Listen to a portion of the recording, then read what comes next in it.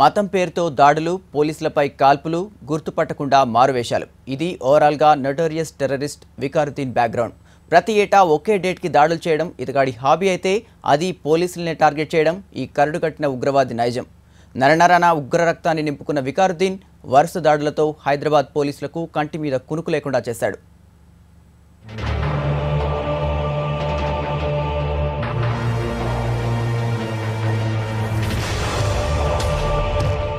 Vicar Ahmed. Alias Alibhai. Alias Vikaruddin. పేర్లే కాదు రూపాలు మార్చడంలోనూ ఈ ఉగ్రవాది దిట్ట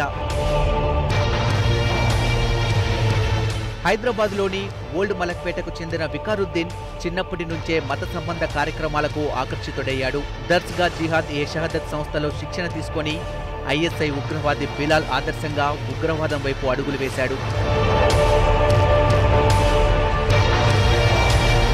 బంగ్లాదేశ్ ఖత్తర్ ఒమన్ దుబాయ్లో ఉగ్రపాఠాలు నేర్చుకున్న వికారుద్దీన్ రెండు వేల ఏడు మే పద్దెనిమిదిన జరిగిన మక్కా పేలుళ్ళ తర్వాత అజ్ఞాతంలోకి వెళ్ళాడు. అప్పటి నుంచి ప్రతి ఏటా అదే రోజున ఏదో ఒక అలజడి సృష్టించటం అలవాటుగా చేసుకున్నాడు. రెండు వేల ఎనిమిది మే పద్దెనిమిదిన సంతోష్ నగర్లో కౌంటర్ ఇంటెలిజెన్స్ సిబ్బందిపై కాల్పులు జరిపి పారిపోయాడు. తర్వాత ఏడాది రెండు వేల తొమ్మిది మే పద్దెనిమిదిన ఫలక్నామాలో డ్యూటీలో ఉన్న పోలీసులపై కాల్పులు జరిపి పారిపోయాడు. ఈ ఘటనలో బాలస్వామి అనే హోంగార్డ్ ప్రాణాలు కోల్పోగా మరో కానిస్టేబుల్ రాజేంద్ర ప్రసాద్ తీవ్రంగా గాయపడ్డాడు. ప్రతి సంవత్సరం ఇలాగే పోలీసులపై దాడులు చేస్తానని హెచ్చరిస్తూ తెహరిక్ గల్బాయే ఇస్లాం పేరుతో లెటర్ రాసిపెట్టిన వికారుద్దీన్ పోలీసులకు అనూహ్యంగా చిక్కాడు.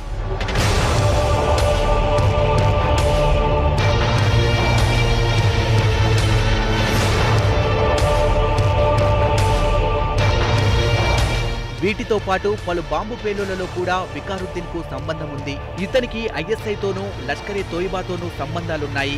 గుజరాత్ హోంమంత్రిపై దాడి చేసిన కేసులోనూ నిందితుడిగా ఉన్నాడు. డీజేఎస్ పేరుతో హైదరాబాద్లో వికారుద్దీన్ ముఠా కార్యకలాపాలు సాగించింది. సిమి ఉగ్రవాద సంస్థలోనూ క్రియాశీలకంగా వ్యవహరించాడు.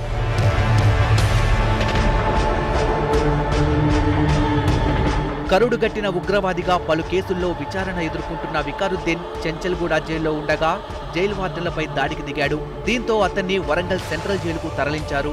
మంగళవారం పోలీసు వాహనంలో వికార్ అహ్మద్ సయ్యద్ అమ్జద్ అలియాస్ సులేమాన్ ఇజర్ ఖన్ మహమ్మద్ అనీఫ్ మహమ్మద్ జకీర్లను హైదరాబాద్ తరలిస్తుండగా పోలీసులపై తిరగబడ్డారు. ఆయుధాలను లాక్కోవడానికి ప్రయత్నించడంతో పోలీసులు కాల్పులు జరిపారు. వికారుద్దీన్తో సహా ఐదుగురిని బస్సులోనే హతమార్చారు.